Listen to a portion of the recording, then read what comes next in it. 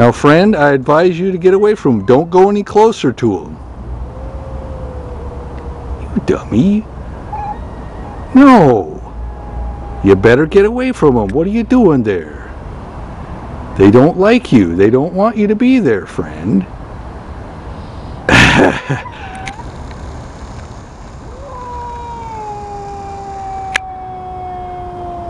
Look, they don't want you. Uh, I, I don't think you're getting the message here.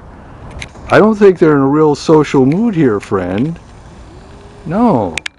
I don't think that they uh, want to share any of their catnip with you. Let me put it that way. Oh, come on. That's right, you're doing the right thing. You better head back. That's right. Come on. Hey, what are you doing? Come on. No, that's right. What do you think you're doing there, dummy? Yeah, come here. Come here. That's right. Now that's the smart thing. As Mo would say, you're using a little brain.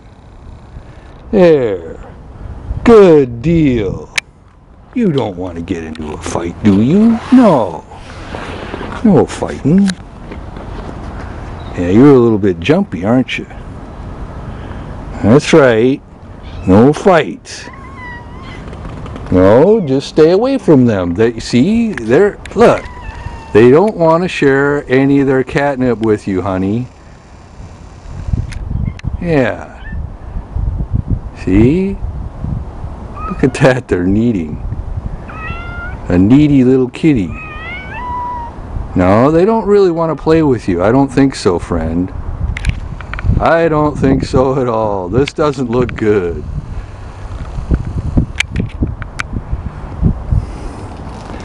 Alright, now you two behave yourselves. I can't stay here all day and referee both of you, alright?